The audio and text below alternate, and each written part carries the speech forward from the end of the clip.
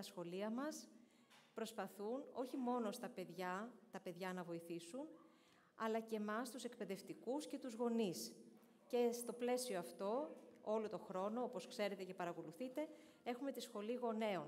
Σήμερα λοιπόν έχουμε κοντά μας τον πατέρα Απόστολο Τσολάκη, θεολόγο και φιλόλογο, ο οποίος έχει εργαστεί και στη δημόσια εκπαίδευση και για κάποιο διάστημα στο, στο, στο Γυμνάσιο Αμαρουσίου και θα μας παρουσιάσει το θέμα «Φταίω εγώ». Ο πατέρα Απόστολος τη μεγαλύτερη πείρα σίγουρα την έχει από την ε, καθοδήγηση χρόνια τώρα, πνευματικά, εφήβων, νέων, οικογενειών ολόκληρων και γι' αυτό θα μας πει τρεις πλευρές. Πώς είναι δυνατόν κάποιος να ευθύνεται για σφάλματα άλλων, πώς η ανάληψη της ευθύνης για τα παιδιά μας λειτουργεί ως στοιχείο πνευματικής εξυγίανσής τους και πώς ενεργούν οι πνευματικοί νόμοι και η χάρη του Θεού. Ευχαριστούμε πολύ, Πάτερ Απόστολε. Ευχαριστούμε και όλους τους γονείς που ήρθαν σήμερα.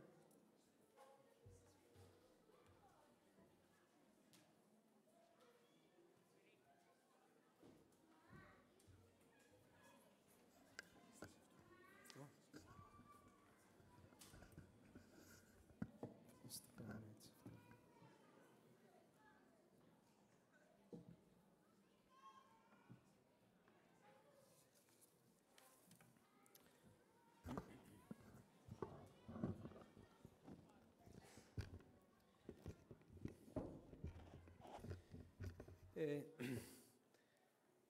είναι, ε, νομίζω, για όλους σας, μας, αφορμή χαράς το να βρισκόμαστε, να βρίσκεστε, να βρισκόμαστε σε κοινές τέτοιες πνευματικές με την ευρύτερη έννοια συναντήσεις για να παίρνουμε, αγαπητοί μου γονείς, αδελφοί μου και αδελφές, να παίρνουμε όλοι δύναμη και κουράγιο και σε αυτά τα σχολεία που προσπαθούν να δώσουν κάτι περισσότερο από ό,τι συνήθως στα σχολεία, να δώσουν πνεύμα στα παιδιά μας.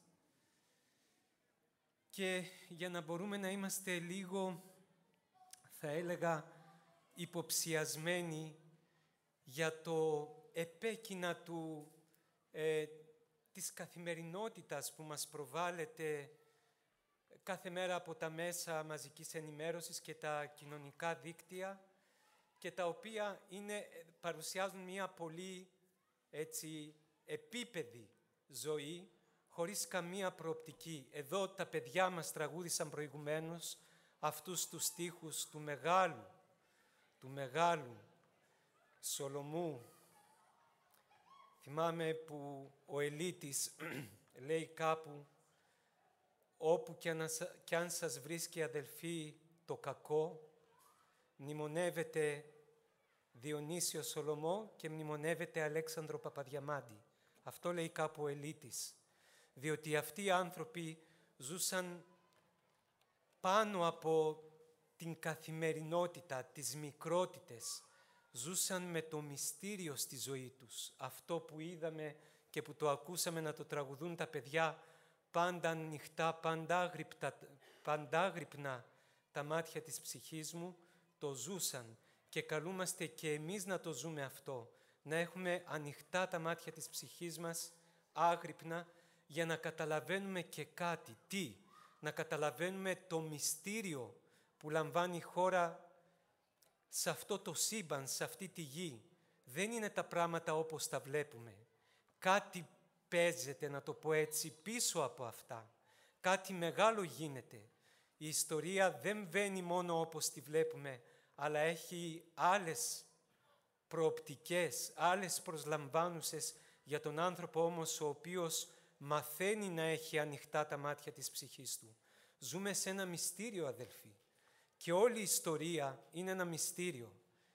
Αυτά όλα που πέρασαν οι Έλληνες, γιατί να τα περάσουν; Γιατί τόσο δυστυχία, γιατί τόσο θλίψη, γιατί τόσο δάκρυ και τι δημιουργίες βγήκαν μέσα από αυτό, από αυτό το δάκρυ, αυτά που βλέπουμε. Λοιπόν, όλα αυτά δεν είναι τυχαία. Για κάτι ανώτερο έχει πλαστεί ο άνθρωπος. Και τώρα εδώ, σε αυτή τη συνάντηση, βέβαια βλέπω ότι είναι πολύ περασμένη η ώρα και όλοι μας είμαστε κουρασμένοι και εγώ από Θεία Λειτουργία έρχομαι και εσείς όλοι από το πρωί. Ε, αναγκαστικά θα κάνω μεγάλες περικοπές στο, στη, στην ομιλία που είχα να κάνω. Ε, λοιπόν, και αυτή η ομιλία είναι για να, για να υποψιαστούμε, θα έλεγα, αυτό το μυστήριο που μας περιβάλλει και να θελήσουμε να γίνουμε κι εμείς αλληλέγγυοι αυτού του μυστηρίου. Διότι με μία πρόχειρη θεώρηση ο κόσμος ζει, είπαμε, σε αυτή την επίπεδη διάσταση που ο καθένας κοιτάει τη ζωούλα του, κοιτάζει ε, τον εαυτό του, ε, ενδεχομένως την οικογένειά του τέλος πάντων, αν υπάρχει και αυτή, έτσι πως έχει καταντήσει στις ημέρες μας, και από εκεί και πέρα αρνείται κάθε ευθύνη γενικότερα στα τεκτενόμενα. Είναι γενική η τάση του ανθρώπου, του ανθρώπου, του ανθρώπου που ζει, είπαμε, με, με, με τις πέντε αισθήσεις του και κολλημένος στη γη, να θεωρεί όλους τους άλλους υπεύθυνους για το κακό που μας συμβαίνει και εμάς, τον εαυτό μας δηλαδή, έξω από αυτό. Εμείς είμαστε πάντα οι αθώοι, πάντοτε έχουμε να πούμε μία δικαιολογία για τον εαυτό μας και οι άλλοι φταίνε. Οι Άγιοι όμως που είπαμε ότι ζούνε μέσα σε αυτή τη διάσταση, τη θεϊκή διάσταση, τα βλέπουν τελείως διαφορετικά τα πράγματα.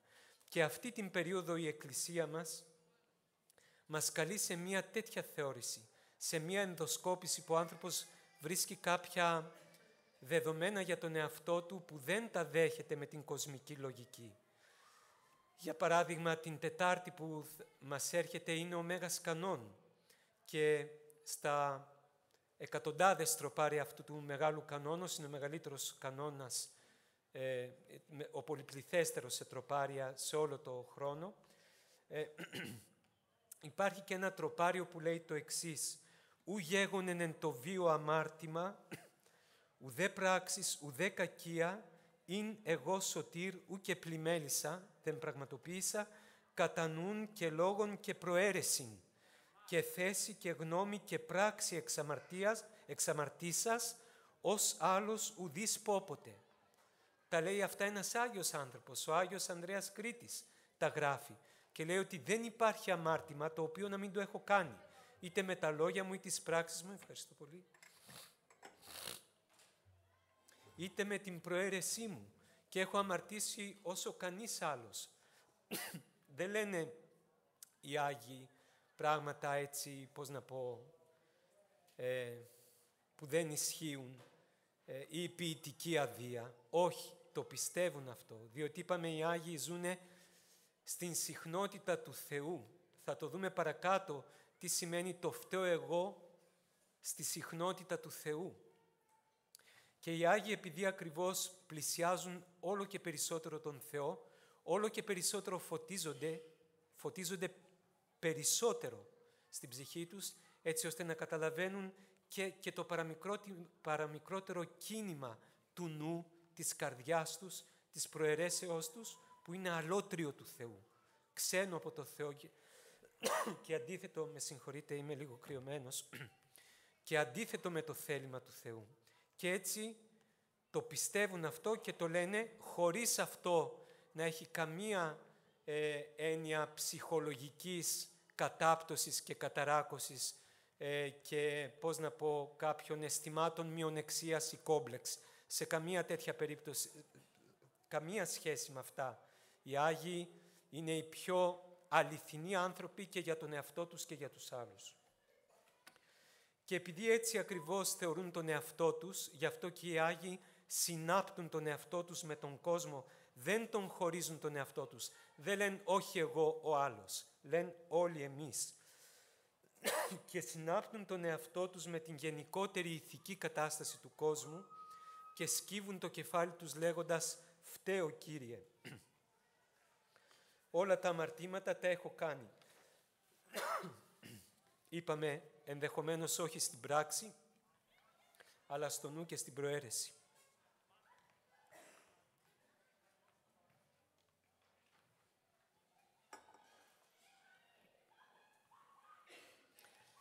Θα θέσω τις βάσεις τις θεωρητικές βάσεις, τις πνευματικές βάσεις αυτού του θέματος και μετά προς το τέλος θα γίνω και πρακτικός στην οικογένειά μας και στα παιδιά μας. Να πω ένα παράδειγμα. Ας πούμε, θυμώνουμε για τους πολιτικούς, για άνθρωπες, ε, ανθρώπους της οικονομικής ισχύως που οδήγησαν εδώ την πατρίδα μας σε αυτή την κατάδια και που απομιζούν, ας πούμε, οικονομικά τους μικρομεσαίους, τους βιοπαλαιστές. Όχι βέβαια ότι δεν είναι αλήθεια αυτό, αλλά θα ήθελα, αδελφοί μου, να υποψιαστούμε όλοι σε κάτι. Ας κάνουμε μία απλή κίνηση. Τώρα που θα πάμε στο σπίτι μας, να ανοίξουμε τις ντουλάπες μας, να δούμε πόσα ρούχα έχουμε για τον εαυτό μας και να κάνουμε μία απλή ερώτηση στον εαυτό μας. Αν είχα τα μισά, δεν θα μπορούσα να ζήσω. Όχι μόνο τα μισά, και το ένα εικοστό να είχαμε, πλούσια θα ζούσαμε. Συνεπώς, και εμείς είμαστε στο ίδιο κανάλι, λέω στο νου και στην προαίρεση, με αυτούς που επιτελούν αυτές επειδή έχουν τη δύναμη και επιτελούν αυτές τις κοινωνικές αδικίες. Ίσως να φέρουμε την αντίρρηση ότι εγώ δεν τα έκλεψα, ο άλλος τα κλέβει. Ε, ο Άγιος Ιωάννης ο Χριστόστομος λέει ότι ό,τι σου είναι περιττό δεν σου ανήκει, ανήκει στους φτωχούς. πρέπει να το δώσεις στους φτωχούς. Και αν το κρατάς, το κλέβεις από τους φτωχούς. Άρα και εμείς κλέφτες είμαστε. Και ο Κύριος είπε, όποιος έχει δύο χιτώνες, τον ένα να τον δίνει. Δύο. Όχι όσους έχουμε εμείς. Δύο, τον ένα να τον δίνει. Δεν είμαστε κι εμείς παραβάτες. Θα το πάω λίγο βαθύτερα το, το θέμα. ε, και θα στηριχθώ σε κάτι που λέει ο Άγιος Σοφρόνιος του Έσεξ.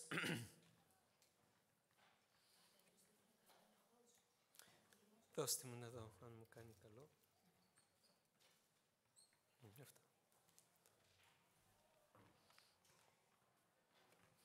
Λοιπόν, προτού ε, πω αυτά που λέει ο Άγιος Σοφρόνιος του Έσεξ, τι είναι αμαρτία, αδελφοί μου; Υπάρχει ένας ορισμός της αμαρτίας στην Αγία Γραφή. Αμαρτία εστίνει ανομία. Ανομία είναι το στερητικό α και νόμος, δηλαδή η κατάλυση του νόμου του Θεού.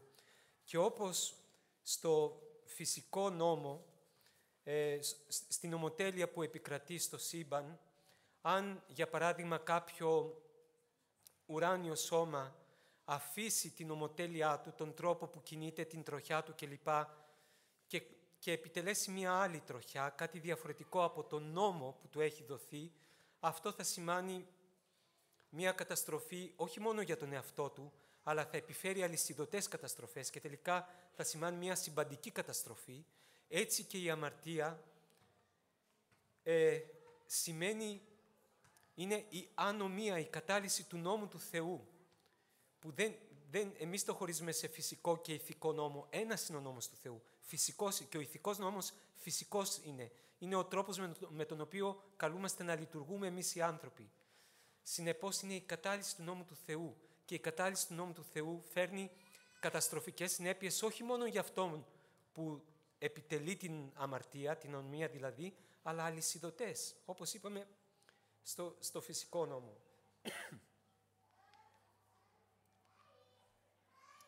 και έτσι οι συνέπειες είναι πολύ ευρείες και βαθιές ε, για, για τον άνθρωπο που αμαρτάνει. Λέει λοιπόν ο Άγιος Σοφρόνιος το εξής. Λέει, τι είναι η αμαρτία από χριστιανική άποψη; Η αμαρτία είναι πρώτα-πρώτα φαινόμενο πνευματικό, μεταφυσικό. Οι ρίζες της βρίσκονται στο μυστικό βάθος της πνευματικής φύσεως του ανθρώπου. Η αμαρτία διαπράτεται προπαντός στο βάθος του ανθρωπίνου πνεύματος, αλλά τα οψώνια της, τα αποτελέσματά της, επηρεάζουν ολόκληρο τον άνθρωπο. Η αμαρτία όταν συντελεστεί αντανακλάται στην ψυχική και φυσική κατάσταση του ανθρώπου που αμάρτησε στην εξωτερική του εμφάνιση, στα πεπρωμένα του, βγαίνει αναπόφευκτα πέρα από τα όρια της ατομικής του ζωής και επιβαρύνει με το κακό τη ζωή όλης της ανθρωπότητας. και έτσι αντανακλάται και στα πεπρωμένα όλου του κόσμου.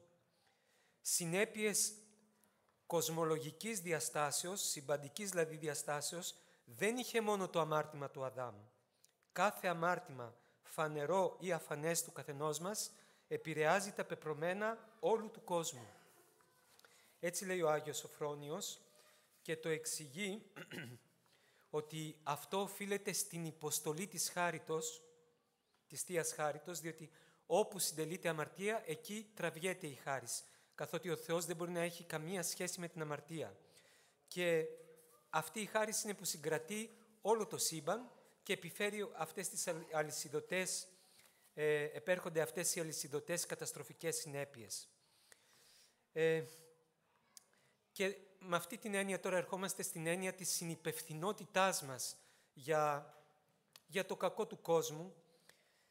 Και έτσι καταλαβαίνουμε πώς οι Άγιοι αισθάνονται ένοχοι για κάθε τι αρνητικό, για κάθε τι κακό που συμβαίνει γύρω τους, στον κόσμο γύρω τους. Διότι σκέφτονται, σκέφτεται ο Άγιος ότι και αυτός με τα προσωπικά του αμαρτήματα γίνεται αφορμή να αναχωρεί λιγότερο ή περισσότερο, πάντως να αποτραβιέται η Θεία Χάρις από επάνω του αρχικά και άρα και από τον κόσμο. Αφού φεύγει από έναν άνθρωπο, συνεπώς και από τον κόσμο αναλογικά φεύγει.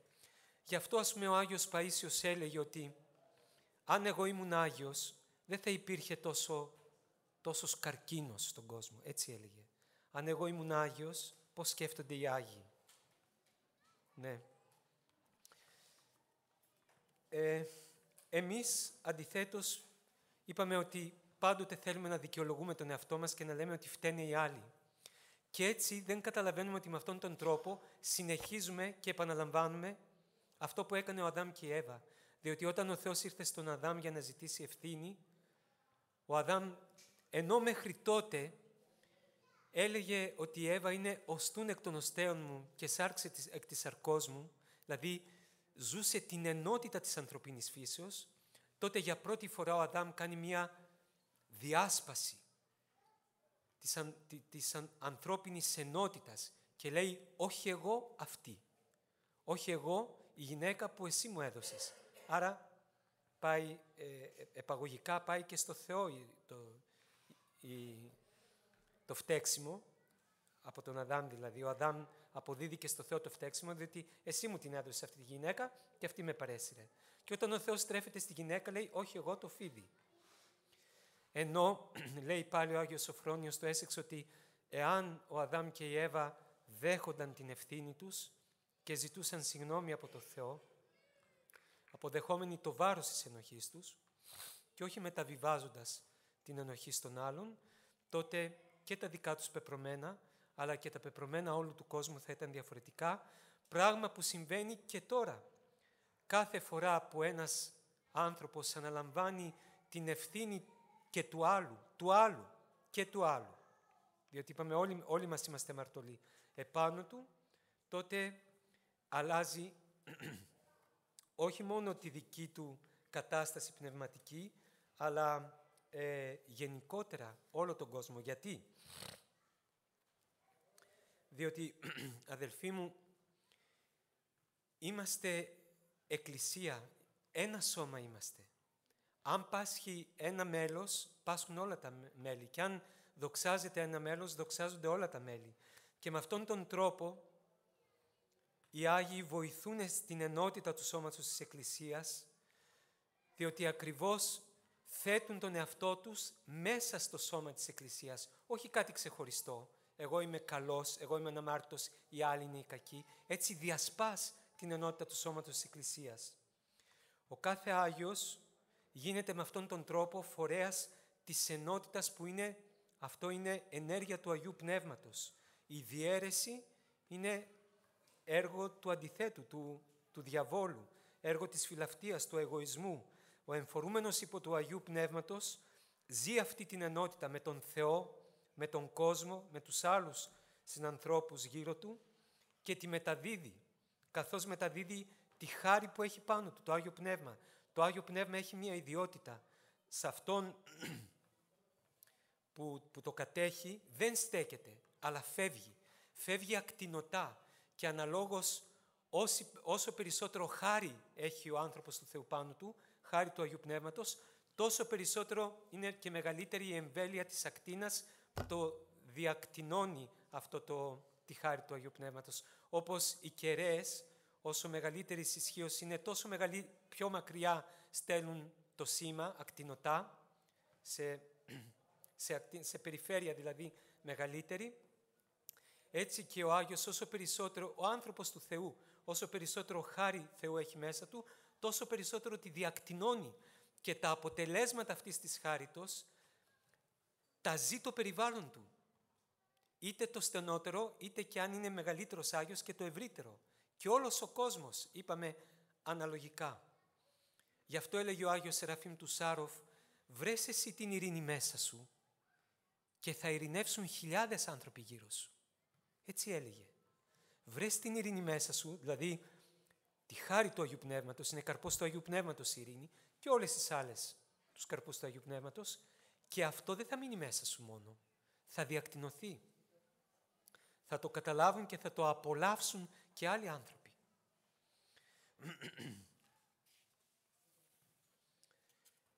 Ε,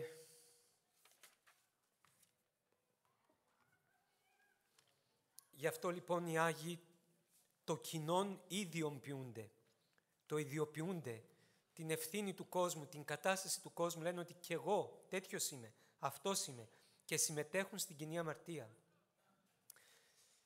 Οι Άγιοι τρεις παιδες που, του, που τους έριξε ο Νοβχοδονόσορ στο καμίνι, αν υπήρχαν τρεις άνθρωποι εκείνη την εποχή που να είναι σε όλα ε, ευσεβείς και τελείως έτσι υποταγμένοι στο θέλημα του Θεού, ήταν αυτά τα τρία παιδιά, μαζί με τον Δανιήλ. Οι άλλοι είχαν υποκύψει και απόδειξε ότι έπεσαν να προσκυνήσουν το άγαλμα εκείνο του, του Ναβουχοδονόσορος. Μόνο αυτοί στάθηκαν όρθιοι, μη δεχόμενοι να προσκυνήσουν άλλον εκτός από τον Θεό. Και τους έριξε μέσα στο καμίνι. Και μέσα στο καμίνι προσεύχονταν και έλεγαν «Ημάρτωμεν, ειδικήσαμεν, νομίσαμεν ενώπιόν σου, ουδέ συνετηρήσαμεν, ουδέ επίησαμεν, καθώς ενετήλω ημίν». Στον Κύριο απευθύνονταν και έλεγαν «Αμαρτήσαμε, δεν τηρήσαμε το θέλημά σου, δεν ακούσαμε τις εντολές σου». Που θα μπορούσαν να πούν για τον εαυτό τους άλλη προσευχή και να λένε ότι οι συμπατριώτες, οι συμπατριώτες μας, Κύριε, αμάρτησαν. θα είχαν κάθε δικαίωμα να το πούν έτσι. Αλλά όχι. Το λένε σε πρώτο πληθυντικό, διότι πάντα έτσι σκέφτονται οι Άγιοι. Ε, και γι' αυτό και οι Άγιοι δέχονται να τιμωρηθούν οι ίδιοι για τις αμαρτίες των άλλων. Ας θυμηθούμε εδώ το παράδειγμα του Αγίου Νεκταρίου, που όταν ήταν στην Ριζάριο Σχολής Σχολάρχης και ήταν εκεί μαθητές, παιδιά, όταν συνέβαινε κάποια ατασταλία από τα παιδιά στη σχολή, ο Άγιος στεναχωριόταν πολύ και έλεγε «Εγώ σήμερα δεν θα φάω.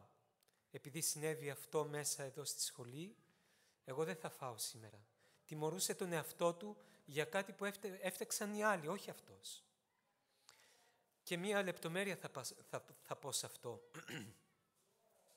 Πρωτού την πω τη λεπτομέρεια, ε, καταλαβαίνουμε εμείς ότι όταν οι μαθητές του έβλεπαν τον διευθυντή τους να μην τρώει εκείνη την ημέρα, ενώ όλοι είχαν την τράπεζα την κοινή, ο διευθυντής τους να μην τρώει, επειδή συνέβη μεταξύ τους κάτι, καταλαβαίνετε αυτό τι μάθημα ήταν για τα παιδιά και σε τι ντροπή έρχονταν τέλος πάντων, ώστε να μην το επαναλάβουν αυτό. Αλλά όμως αυτό που θέλω να πω η λεπτομέρεια είναι ότι ο Άγιος Νεκτάριος δεν το έκανε αυτό πρωτίστως για να τον δουν τα παιδιά. Θα έλεγα καθόλου, όχι πρωτίστως, καθόλου δεν τον ενδιέφερε αυτό. Άλλο ότι αυτό ερχόταν ως παιδαγωγική συνέπεια. Αλλά όμως δεν το έκανε γι' αυτό. Αλλά γιατί, διότι είχε αυτό το φρόνημα που έχουν οι Άγιοι, που δεν μπορούν να μην το έχουν οι Άγιοι. Ότι για να γίνει κάτι άσχημο, φταίω κι εγώ διότι αν εγώ είχα τη χάρη του Θεού πάνω μου, αυτή η χάρη τέλος πάντων δεν θα άφηνε όσον εξεμού να γίνει αυτό που έγινε. Και πάντως αφού έγινε φταίω κι εγώ. Ε, Τώρα ήδη έχουμε περάσει στα πρακτικά. Να σας πω κάτι που μου είχε πει ένας πατέρας. Σας ευχαριστώ πολύ για την καραμέλα, λειτουργήσε πολύ ευεργετικά. Όχι, ακόμα, ακόμα την έχω. Λοιπόν, μου είπε ένας πατέρας το εξής. Λέει, ήμασταν ε, με τα παιδιά μου, έφηβοι τα παιδιά του, και παρακολουθούσαμε τηλεόραση. Στο σαλόνι του σπιτιού παρακολουθούσαμε τηλεόραση. Κάποια στιγμή πέταξε μία διαφήμιση και ήταν κάτι, Πάτερ, που, που ντράπηκα που ήμουν με τα παιδιά μου, που ήμουν ανάμεσα στα παιδιά μου. Και έσκυψα το κεφάλι μου και δεν μπορούσα να το αντέξω αυτό το πράγμα. Ε, σκέφτηκα ότι τι θα γίνει, μπορούμε να βλέπουμε τέτοια πράγματα, τα παιδιά να βλέπουν τέτοια πράγματα; Όμως ήξερα, μου λέει, ότι αν το πω στα παιδιά, να, μην, να, μην, να, να την πετάξουν την τηλεόραση, να μην ξαναδούμε τηλεόραση, θα, θα είχα αντί, αντίδραση, αντίρρηση και αντίδραση. Οπότε έκανα κάτι άλλο. Έβαλα κανόνα στον εαυτό μου και είπα από εδώ και μπρος Δημήτρη, ούτε ειδήσεις. Τίποτε. Τίποτε. Και άρχισα να το τηρώ αυτό. Πέρασαν μήνες, πολλοί μήνες. Δεν θυμάμαι πόσο μου είπε, είναι και καιρός που μου, το, μου τα είπε. Και τα παιδιά μου συνέχιζαν κανονικά να, να βλέπουν. Εμένα και εγώ ήταν η καρδιά μου που έβλεπα τα παιδιά μου έτσι, να βλέπουν αυτέ αυτές τις παραλυσίες κυριολεκτικά, αλλά δεν τους έλεγα τίποτα. Εγώ τον κανόνα μου. Και αφού πέρασαν, δεν θυμάμαι πόσο, μήνες πάντως πολύ, ίσως και χρόνος, κάποια στιγμή λέει έρχονται τα παιδιά μου και μου λένε «Πατέρα, με αυτά που δείχνει τηλεόραση μας, μας υποβιβάζει ως πρόσωπα. Εμείς δεν τη θέλουμε πλέον. Ε, αν τη θες εσύ, εμείς δεν τη θέλουμε». Και την πετάξαμε την τηλεόραση. Αλλά βλέπετε αδελφοί μου πώς λειτουργούν οι πνευματικοί νόμοι. Αυτός ο πατέρας έβαλε στον εαυτό του επιτίμιο. Έβαλε κανόνα στον εαυτό του και λειτουργήσαν οι πνευματικοί νόμοι και αυτό είχε ευεργετική επίδραση. Η χάρης ήρθε και μίλησε στα παιδιά. Ενώ αν τους έλεγε απαγορεύεται από εδώ και μπρος τηλεόραση, το αντίθετο θα γινόταν. Ναι. Ε, εδώ νομίζω μπορούμε να καθρεφτήσουμε τους εαυτούς μας. Μου έλεγε ο πατήρ Γενάδιος για μία μαθήτρια η οποία, ε, καλή μαθήτρια, τρίτης λυκείου, τελικά λίγο πριν τις ε, πανελλαδικές εξετάσεις τα παράτησε. Τα παράτησε όλα και έφευγε έξω από το σπίτι να ζήσει ζωή αυτή που ζουν οι νέοι. Έμειναν οι γονείς, δεν ήξεραν τι να πούν και τι να σκεφτούν. Ξέρετε ποιος ήταν ο λόγος; Διότι αυτοί οι γονείς από, ε, τέλος πάντων, αγάπη, δεν μπορούμε να, να πούμε κάτι διαφορετικό, αλλά μια αγάπη που πιέζει και σφίγγει το, το παιδί, ε, έλεγαν στο παιδί, μέχρι που το πίεζαν, να βάλει κάποια συγκεκριμένη σχολή στο μηχανογραφικό, να προσπαθήσει να πετύχει την εισαγωγή του στη συγκεκριμένη σχολή που ήθελαν οι ίδιοι, ενώ το παιδί δεν ήθελε αυτή τη σχολή. Ε, και αυτό έγινε αφορμή τελικά να αντιδράσει και να τα παρατήσει όλα. Και άλλες ακόμα έτσι πιο, πώς να πούμε, σημαντικές, αρνητικά δηλαδή σημαντικές περιπτώσεις παιδιών, οι οποίοι, τα οποία τελικά αποστατούν από το Θεό και από την Εκκλησία επειδή έχουν τις, τους γονείς τους, οι οποίοι βέβαια αγωνιούν για τα παιδιά τους, αλλά προσπαθούν με έναν τρόπο ε, να το πω διαφορετικά. Τα παιδιά μας αδελφοί μέχρι την ηλικία των 12, άντε 13 χρονών, μπορούμε να, να, τα, να τα διδάσκουμε, να τους λέμε τι να κάνουν. Από εκεί και πέρα το παιδί ήδη έχει διαμορφώσει πλήρως τον ηθικό κώδικα μέσα του. Πλήρως. Ό,τι και να του πούμε περαιτέρω, το ξέρει. Του τέστην, όχι δεν χρειάζεται, δεν πρέπει να, να λέμε από εκεί και πέρα. Μέχρι που θα μπει το παιδί στην εφηβεία. Από εκεί και πέρα, stop τα λόγια. Stop οι συμβουλές. Stop τα λόγια για το Θεό. Stop. Από εκεί και πέρα, εμείς να είμαστε ένα βιβλίο ανοιχτό, να μας διαβάζει το παιδί και να βλέπει το παράδειγμά μας. Όχι όμως να του μιλάμε. Αντίδραση φέρουμε.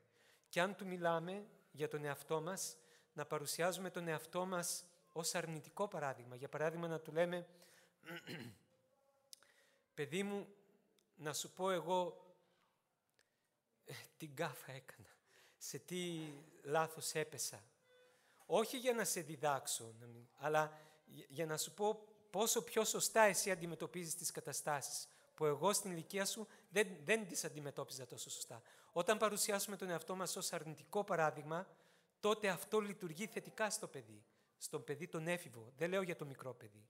Στο μικρό παιδί πρέπει τον εαυτό μας να τον παρουσιάζουμε ως πρότυπο. Διότι είπαμε τότε διαμορφώνει τον ηθικό κώδικα μέσα του το παιδί. Αλλά στο μεγαλύτερο το αντίθετο πρέπει να κάνουμε. Και να συμμετέχουμε σε αυτό που το παιδί, το παιδί ας πούμε ε, αντιδρά, ε, προβαίνει και σε ενέργειες όχι ας πούμε ηθικές. Μη βγάζουμε τον εαυτό μας απ' έξω. Ξέρετε, συμβαίνει και το εξής πολλές φορές. Να αντιδρούμε απέναντι σε κάποιο μέλος της οικογένειας μας και να καταφερόμαστε με, με σφοδρότητα και με μένος. Γιατί είναι υποσυνείδητο αυτό που θα πω, ψυχολογικός μηχανισμός, όταν κάνουμε και εμείς τα ίδια, ενδεχομένως σε άλλο επίπεδο, και τα αποθούμε στο υποσυνείδητό μας. Είναι ο λεγόμενος ψυχολογικός μηχανισμός της προβολής. Δηλαδή αυτό στο οποίο μας ελέγχει η δική μας συνείδηση, επειδή δεν θέλουμε να το ε, παραδεχτούμε, το βλέπουμε ενδεχομένως παρόμοιο στην, στην ίδια συχνότητα απέναντί μας, στη γυναίκα μας, στο παιδί μας. Το παιδί μας μπορεί να έχει και χαρακτηρολογικά στοιχεία ίδια με τον εαυτό μας και το κατακεραυνώνουμε εκεί. Υπάρχει μια ιστορία στην Αγία Γραφή, στην Παλαιά Διαθήκη, που ο Δαβίδ, όταν ε, διέπραξε αυτό το φοβερό διπλό αμαρτημά του, ε, του φόνου και της μοιχείας, δηλαδή έστειλε τον άντρα της γυναίκας που την είδε και την ερωτεύτηκε να, στην πρώτη γραμμή στη μάχη για να πεθάνει. Ήταν στρατη, στρατηγός αυτός, στρα, τέλος πάντων ανώτερος αξιωματικός και τον έστειλε στην πρώτη γραμμή της μάχης για να σκοτωθεί και έτσι σκοτώθηκε αυτός και πήρε τη γυναίκα του και την έκανε δική του γυναίκα.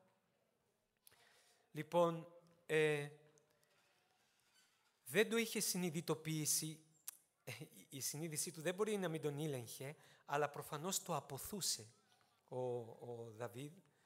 Οπότε ο Θεός για να τον κάνει να, να συνέλθει και να καταλάβει το σφάλμα του, λέει σε έναν προφήτη του στον Νάθαν, πήγαινε να του πεις αυτά που του είπε τελικά ο Νάθαν, δηλαδή τι.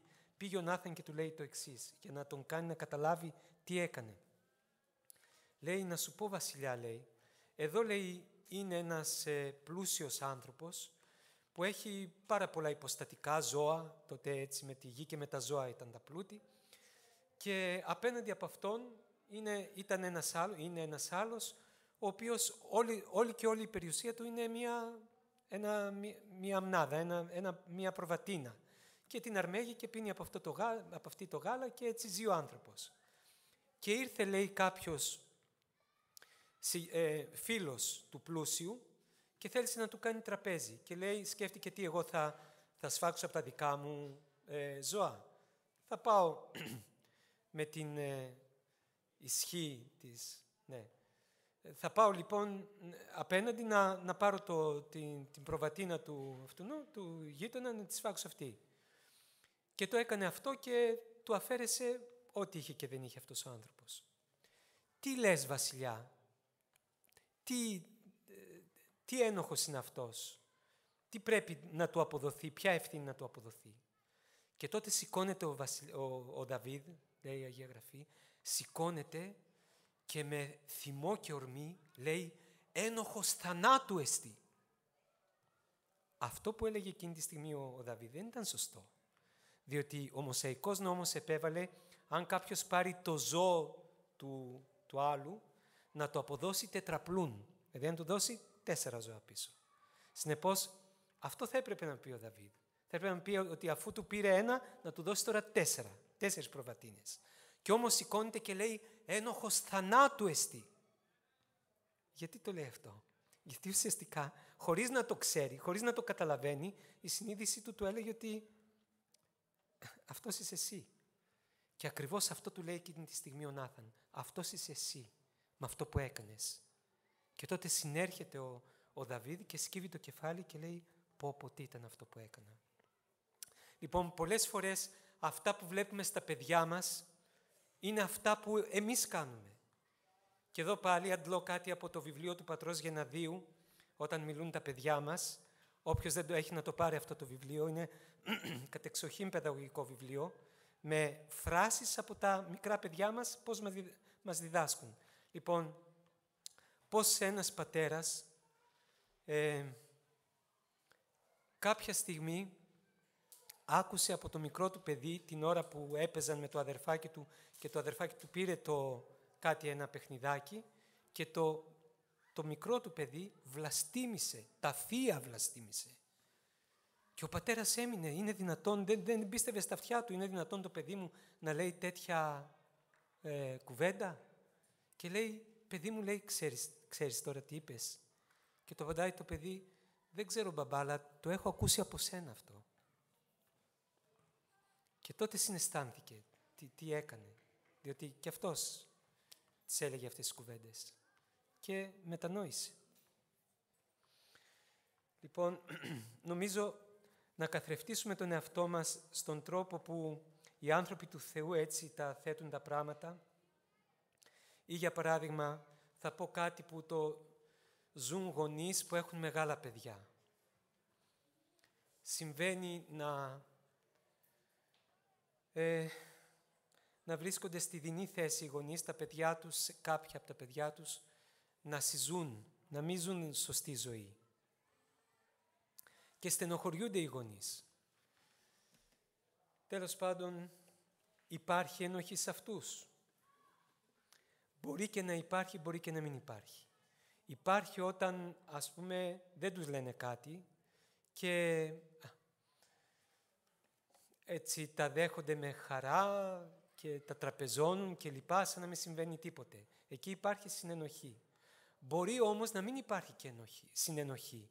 Όταν πράγματι στεναχωριούνται και καίγεται η ψυχή τους που βλέπουν τα παιδιά τους να ζουν έτσι, όχι όπως θέλει ο Θεός. Εκεί μπορούν κάτι να σκεφτούν οι γονείς και κάτι να κάνουν. Να πούν ότι επειδή το, το παιδί μου ζει έτσι, εγώ θα αφαιρέσω από τον εαυτό μου το να μπορώ να πηγαίνω να κοινωνώ. Θα πεις, έχει καμία σχέση το ένα με το άλλο. Αν το δούμε έτσι πολύ ε, ανθρώπινα με την κοινή λογική, όχι δεν έχει αλλά το άλλο είναι μία συμμετοχή στην ατασταλία που γίνεται στο σπίτι μου. Είναι σαν να φταίω κι εγώ, Χριστέ μου, φταίω κι εγώ για αυτό που γίνεται στο σπίτι μου και γι' αυτό εγώ δεν θα έρθω να κοινωνήσω. Και αυτό όταν γίνεται με τέτοιο ήθος, και όχι με άλλο, αλλά με τέτοιο ήθος, το βλέπει ο Θεός και στον γονέα που δεν κοινωνεί, η Θεία Κοινωνία είναι η χάρη του Θεού έρχεται πολύ μεγαλύτερη από ό,τι θα ερχόταν αν κοινωνούσε και πάει και bypass στα παιδιά. Πάει παράδρομα και στα παιδιά. Και καταλαβαίνουν τελικά η χάρη του Θεού θα μιλήσει. Μόνον ότι ο Θεός λειτουργεί σε βάθος χρόνου. Εμείς θέλουμε να βλέπουμε εδώ και τώρα τα αποτελέσματα. Για να δούμε εδώ και τώρα τα αποτελέσματα, κάνουμε αυτό που κάνουμε. Τιμωρούμε, κάνουμε από εδώ και από εκεί.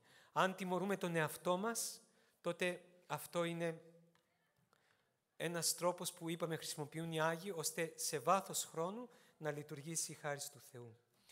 Τελειώνω με το εξής. Θα μπορούσε κάποιος να ε, φέρει μία ένσταση και να πει ότι δεν φτάνουν τα δικά μας κρίματα, τα δικά μας αμαρτήματα, θα σηκώνουμε πάνω μας και τον άλλον, της γυναίκας, η γυναίκα του άντρα της, των παιδιών κλπ. Και αν αυτό γίνει, δεν ε, συντελεί αυτό στο να δημιουργείται μέσα μας αυτό που οι ψυχολόγοι ονομάζουν ενοχικό σύμπλεγμα και περιδεή συνείδηση. Θα απαντήσουμε λέγοντας ότι καταρχάς κάθε ψυχολογικό σύμπλεγμα, οπότε και το ενοχικό σύμπλεγμα, σημαίνει ασθένεια ψυχική και εδράζεται, όπως όλα τα συμπλέγματα τα ψυχολογικά, εδράζεται, ε, αν ψάξουμε βαθύτερα στον εαυτό μας, θα δούμε ότι εδράζεται στον εγωισμό. Κάθε σύμπλεγμα ψυχολογικό εδράζεται στον εγωισμό. Γι' αυτό και συνιστά ασθένεια ψυχική. Οπότε και το ενοχικό σύμπλεγμα είναι τέτοιο, ασθένεια ψυχική. Εδώ όμως δεν πρόκειται περί αυτού, αδελφοί. Εδώ πρόκειται περί του ακριβώς αντιθέτου, αντιστρόφου. Πρόκειται για μεγαλείο. Μεγαλείο που εδράζεται στην αγάπη. Για παράδειγμα, μια μάνα μπορεί να δεχτεί πάνω της το ρεζίλεμα ε, μιας ε, μη σωστής κοινωνικής συμπεριφοράς του παιδιού της. Το δέχεται, την καταφορά του κόσμου, επειδή είναι το παιδί της και προσπαθεί να δικαιολογήσει το παιδί της. Από τι το κάνει, από ψυχολογικό, από ενοχικό σύμπλεγμα, σε καμιά περίπτωση, από αγάπη για το παιδί της. Συνεπώς, όλο αυτό που λέμε τώρα, δηλαδή το να θέλουμε να γινόμαστε συνυπεύθυνοι της ενοχής των άλλων, να την παίρνουμε πάνω μας, ουσιαστικά δεν πρόκειται τίποτα άλλο παρά για ενστερνισμό του πληρώματος της αγάπης, όπως την έδειξε ο Κύριος επάνω στο Σταυρό. Ο Κύριος λίγο πρωτού ανεβεί στο Σταυρό είπε «Μίζωνα του, του ταύτης αγάπην ουδής έχει, ή να της στην ψυχήν αυτού θύ υπέρ των φίλων αυτού». Δεν υπάρχει μεγαλύτερη αγάπη από το να θυσιάζει κανείς τον εαυτό του, την ψυχή του, τη ζωή του, για αυτούς που αγαπάει. Και, και ο Χριστός το έδειξε αυτό, τη θυσίασε τη ζωή του, την ψυχή του, παίρνοντας επάνω του την ενοχή όλων μας. Ποιος, ο αναμάρτητος και δεχόμενος ο ίδιος να καταδικαστεί, να γίνει κατάρα για εμάς, προκειμένου να, δικαιωθεί, να δικαιωθούμε εμείς. Ο ίδιος να, να θανατωθεί, που δεν υπήρχε λόγος να πεθάνει, διότι ο θάνατος είναι αποκύμα της αμαρτίας. Ο Χριστός ήταν, ήταν αναμάρτητος. Ο ίδιος να πεθάνει για να ζήσουμε εμείς. Ο ίδιος να καταδικαστεί για να αθωθούμε εμείς. Όλη η σωτηρία του κόσμου, αδελφοί, όλη η σωτηρία του κόσμου στηρίζεται πάνω σε μια μέγιστη παγκόσμια οικουμενική αδικία. Ποια, ακριβώς αυτή. Το να πεθάνει ο αναμάρτητος, το να καταδικαστεί ο αθώος. Όμως αυτή η αδικία, εντός εισαγωγικών αδικία, είναι που έσωσε όλο τον κόσμο. Αυτή είναι η δικαιοσύνη του Θεού. Η δικαιοσύνη του Θεού είναι αυτή. Και όποιος αναλαμβάνει επάνω του αυτή τη δικαιοσύνη του Θεού, δηλαδή όποιος θέλει να γίνεται συνυπεύθυνος με, την, με το σφάλμα, με την ενοχή του άλλου, αυτός ουσιαστικά βρίσκεται σε αυτήν την περιοχή της μίζωνος αγάπης και συντελεί ε, με την όλη του πολιτεία να, να εγκαθίσταται η Βασιλεία του Θεού πάνω στη γη. Λέει ο Ντοστογεύσκη το εξής στους αδελφούς Καραμαζόφ, το βάζει στο στόμα του, ε, του Αβά, ε, του Στάρετ Ζωσιμά, που πρέπει να είναι ο, ο Άγιος Αμβρόσιος, είναι αυτός, της Όπτινα. Κάποιος, τέλος πάντων, είναι ε, στάρετς της Όπτινα, λέει το εξής. Μόνο τότε θα επιτευχθεί ο σκοπός της ενώσεώς μας, όλων, όταν όχι μονάχα παραδεχτεί ο καθένας πως είναι χειρότερος από όλους, μα και πως είναι ένοχος μπροστά στους ανθρώπους για όλα όσα γίνονται, για όλες τις ανθρώπινες αμαρτίες, τις παγκόσμιες και τις ατομικές, διότι να ξέρετε αδελφοί μου πως ο καθένας από εμάς είναι αναμφισβήτητα ένοχος για όλους και για το καθετή επάνω στη γη, όχι μόνο ως μέτοχος του γενικού παγκόσμιου αμαρτήματος, μα και προσωπικά ένοχος για τις πράξεις όλων των ανθρώπων και του καθενός χωριστά που ζει σε τούτη τη γη. Μονάχα τότε η καρδιά μας, στην παραδοχή αυτή, θα γίνει άξια να περικλείσει την ατέλειωτη, την οικουμενική, την άσβεστη αγάπη, τότε ο καθένας από εσάς θα μπορεί να αποκτήσει ολόκληρο τον κόσμο με την αγάπη του και να ξεπλύνει με τα δάκρυά του τα αμαρτήματα, του κόσμου. Εμείς δεν θα το πούμε όλου του κόσμου, αλλά θα το πούμε με την εμβέλεια που έχει η χάρις του Θεού που, που, έχουν, που παίρνουμε πάνω μας όταν αποδεχόμαστε ε, την συνενοχή μας στο κακό. Είπαμε αυτή η χάρις του Θεού διακτηνώνεται γύρω μας και πιάνει πρώτα την οικογένειά μας. Και αυτό έχει ευεργετικά αποτελέσματα πρώτα στην οικογένειά μας και έπειτα και στο ευρύτερο περιβάλλον μας. Έτσι, αυτές τις ε, σκέψεις τέλος πάντων, την εισήγηση ε, σχετικά με αυτό το ζήτημα και τώρα αν θέλετε να πείτε πάνω σε αυτό και πρακτικά για αυτά που συναντάτε καθημερινά μέσα στις οικογένειές σας. Α, βέβαια, ε, είναι πολύ, ε, είναι πολύ περασμένη η ώρα, δεν ξέρω. Έχουμε μια πρόταση να κάνουμε. Τώρα σίγουρα υπάρχουν απορίες, Ναι. αλλά σκέφτομαι να φέρουμε άλλη μια φορά τον Πατέρα Απόστολο και όχι για ομιλία, για να αρχίσετε εσείς τις ερωτήσεις. Νομίζω ήδη μας έθεσε πολλά πρακτικά ζητήματα που μπορούσαμε, Πάτερ, να το κάνουμε. Αυτό το λέω, μας δώσατε και μια ωραία ιδέα και με τις αφορμές τις πολλές που ακούστηκαν. Μήπως κάποτε μετά τη λειτουργία δεν θα έχουμε ομιλία, αλλά κατευθείαν μια συζήτηση εδώ με τον Πατέρα Απόστολο. Θα έχουμε έτσι κατευθείαν να θέσετε τα ερωτήματα και να πούμε. Αυτή είναι η μία πρόταση. Βέβαια, επειδή είπε και έδωσε το λόγο, δεν θέλω να προκαταλάβω. Ας δώσουμε σε δύο ανθρώπους ίσως που θα θέλουν να πούνε αυτά, να δώσουμε τώρα μόνο και για σήμερα που τα έχουμε τώρα φρέσκα, δύο αφορμές να δοθούν και για να μην κα- κάνουμε κατάχρηση. Κάποιος ί- ίσως ήθελε να πει, ελεύθερα να ζητήσει το λόγο. Εγώ, Πάτερ, μόνο να πω μια πρόταση και για- επειδή ακριβώς και πάλι δεν έχουμε ήδη πέρασε ο χρόνος, να πάρουμε μια εργασία για το σπίτι. Homework. Έτσι το λένε εδώ στο σχολείο. Λοιπόν, η εργασία για το σπίτι είναι, με βάση όλα αυτά που μας είπε ο Πατήρ Απόστολος, ότι να κάνουμε τη δική μας αυτοκριτική στο πόσο ζούμε αυτό το να αναλαμβάνουμε εμείς την ευθύνη για τα λάθη μας. Τώρα που είναι περίοδος Σαρακοστής, τώρα που όλοι θα περάσουμε από το κατόφλι εκεί του Ιερού Εξομολογητηρίου, τώρα που όλες οι οικογένειες είμαι βέβαιος ότι έχετε το δικό σας πνευματικό καθοδηγό και θα πάτε και ως οικογένεια και ο καθένας χωριστά. Τώρα, για να σκεφτούμε, τόσα χρόνια εξομολογούμαστε. Τόσα χρόνια είμαστε έτσι και ετοιμαζόμαστε και λέμε για το Πάσχα και πηγαίνουμε να πούμε τα κρίματά μας. Αν δούμε εμείς αυτά που εξομολογούμαστε, πόσο είναι δικά μας λάθη και πόσο είναι προβλήματα των άλλων; Πόσα είναι αυτά που λέμε, γιατί πραγματικά λέμε εμείς ότι αυτό φταίω, εκεί έφταξα, ή πόσο είναι το παιδί μου, ο σύζυγος, η σύζυγος, είχε αυτό το ένα. Αυτό ε- εργασία για το σπίτι. Είναι ακριβώς αυτό, μην απογοητευτείτε, είναι κοινή ασθένεια όλων, το είπε ο Πατήρ Απόστολος.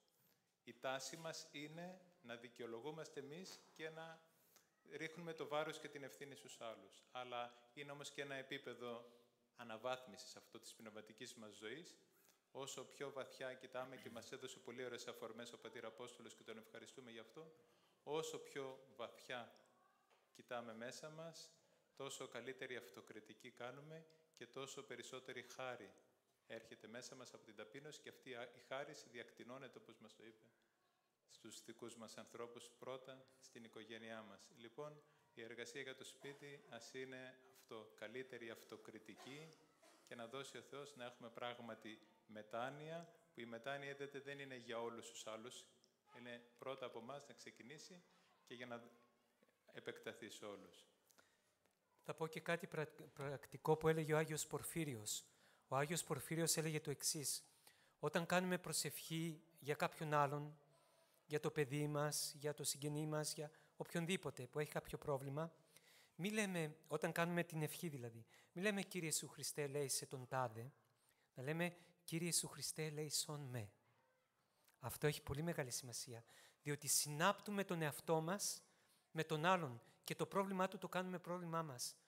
Πώς θα έλεγα ελέησόν με αν είχα καρκίνο, πώς θα έλεγα το ελέησόν με, Κύριε Ιησού Χριστέ ελέησόν με, έτσι να το λέω και για τον άλλον που έχει καρκίνο. Είτε καρκίνο όπως το ξέρουμε, είτε πνευματικό καρκίνο. Πώς η Χαναναία, φωνάζοντας τον Κύριο, είπε ε, «Ιησού Ιε Δαβίδ ελέησόν με». η θυγάτηρ μου κακώς αγωνι... ε, δαιμονίζεται. Ελέησε με μένα. Η, η, η, η θυγατέρα μου έχει το πρόβλημα, εμένα ελέησόν με. Διότι εγώ πάσχω που την βλέπω. Όταν λέμε λοιπόν ελέησόν με για τον άλλον που έχει το πρόβλημα, συνάπτουμε με αυτόν τον τρόπο τον εαυτό μας και κάνουμε το πρόβλημά του πρόβλημά μας. Αυτό είναι κάτι πολύ πρακτικό που το έλεγε ο Άγιος Πορφύριος. Να το τηρούμε αυτό. Μήπως θέλει κάποιος το μικρόφωνο; Θα πάει στον κύριο Πρόεδρο κατευθείαν. Κύριε Πρόεδρε, το κλείσιμο τώρα, γιατί ήδη όντως σήμανε η λήξη. Το, αυτό που έχω να προσθέσω είναι να σημειώσω είναι οι θερμές ευχαριστίες στον Πατέρα Απόστολο για αυτόν τον καθρέφτη που έχει βάλει σε όλους μας. Ας πορευτεί ο καθένας στο σπίτι του και ας αξιοποιήσει ό,τι ακριβώς ωφέλιμο ε, κατετέθησε με την εισήγηση του Πατέρα και με το βίωμά του Πατέρα Απόστολος. Σας ευχαριστούμε πολύ, Πάτερε. Ευχόμαστε σε όλους τους καλούς εκλεκτούς συνεργάτες γονείς καλό και ευλογημένο υπόλοιπο της Μεγάλης Τεσσαρακοστής και με το καλό να έρθει το Άγιο Πάσχα και να το νιώσουμε και να το ζήσουμε χριστιανικά και όπως θέλει ο Άγιος Θεός. Ευχαριστούμε πολύ.